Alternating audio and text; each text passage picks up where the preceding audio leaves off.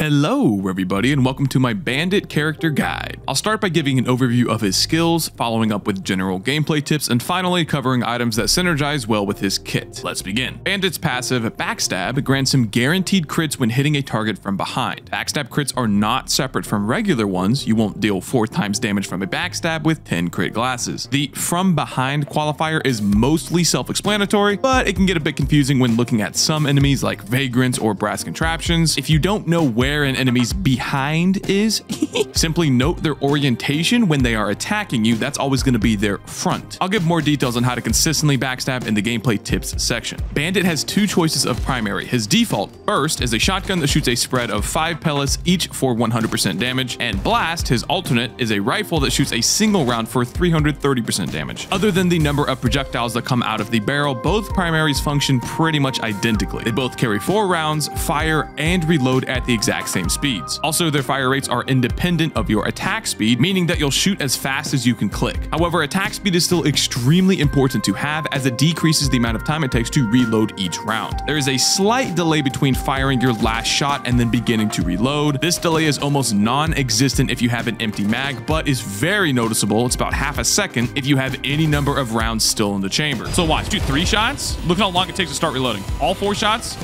starts reloading like right away. One, two, three, four, starts reloading right away. One, two, three. Look at that delay right there.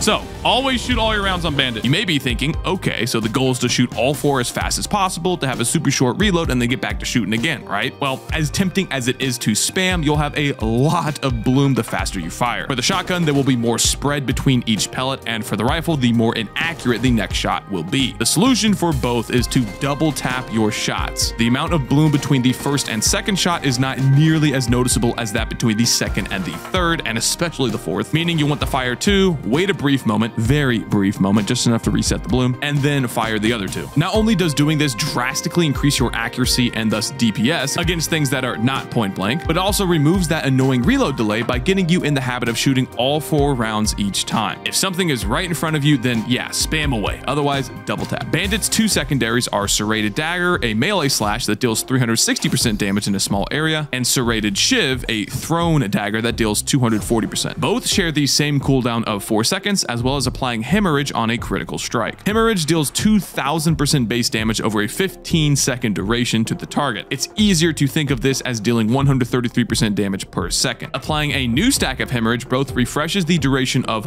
all previous stacks and adds an additional 2000% damage to the pool or 133% per second. Note that Hemorrhage is a separate debuff from regular bleeds. Its damage is independent from any tri-tips or shatter spleens that you may have. Both secondaries also cancel your vertical momentum momentum, meaning you can use them near the end of a fall to prevent damage or at the peak of a jump to extend your amount of airtime. And its utility, Smoke Bomb, grants invisibility for up to 3 seconds, as well as dealing 200% damage and stunning things in a small area both at the start and end of the duration. Taking any combat-related action during stealth will reveal you early. Smoke Bomb also has a couple mechanics that are not listed. First, you get a decent amount of movement speed while invisible, should be about 30%, so you should be in the habit of using it off of cooldown whenever you're just running around the stage. And second, both the start and the end of the ability have an automatic little hop. If you're standing still, the hop is barely noticeable, but if you're airborne, it's almost like getting a free jump's worth of height. You can easily reach things that are otherwise inaccessible by jumping, using your smoke bomb, and then canceling it, essentially getting three jumps for one. Finally, Bandit's two specials are Lights Out and Desperado. Both are pistol shots that deal 600% damage and act as an execute, dealing up to three times more damage based on how low the target's health is. The difference between them is what happens after you land a killing blow. Lights Out resets all of your ability cooldowns. Equipment and items are not affected, while Desperado gains a token, with each token granting 10% more Desperado damage. Note that these tokens are reset entirely after leaving a stage. Regardless of which one you choose to take, you should at a minimum be conscious of landing the killing blow with every shot, but don't make it your top priority as you'll start thinking way too hard on, oh man, if I shoot this right now, is it going to be enough damage to kill it or should I wait a second? Instead of just blasting stuff away. If you're fighting anything tanky, you should use your special multiple times as procking things like ATGs and especially ice and fire bands off of the shot, even if it doesn't kill the target, will boost your overall DPS up quite a bit. For the little guys, however, yes, you do need to be focused on landing the killing shots. As for which one is the stronger ability, they're actually both very close in power. Stacking damage with Desperado is unquestionably better early on, as you'll be able to melt through even the toughest elites and bosses like Butter, while resetting your cooldowns becomes more potent the later your run goes, as going in and out of stealth can be the difference between life and death. Experiment with both of them to find out which one suits your playstyle best. Alright, let's talk about playing Bandit to his maximum potential. The name of the game is Backstab, Backstab, Backstab. Regardless of what you are fighting, you're literally doing half as much damage to them if you're not utilizing his passive and hitting them from behind. The easiest way to ensure you backstab a target is to move as close as possible to them before popping your stealth. That way you can easily get behind them and dump your load before they can reacquire you and rotate away. Obviously, once you get some crit chance going, backstab becomes less and less important. But for the first loop of a run especially, you need to prioritize getting behind anything that's tankier than a beetle. Otherwise, you are leaving tons of potential damage on the floor. And let me point this out here real quick. Bandit's secondary ability is easily the least relevant part of his kit. Hemorrhage requires far too many stacks to actually start dealing damage, and you are much, much better off focusing on double tapping with your primary and resetting cooldowns or gaining tokens with your special than you are trying to ramp a measly 133% damage per second up. In a perfect world, you're stacking that 133% DPS every 4 seconds on the target, but realistically, you will never, and I mean never,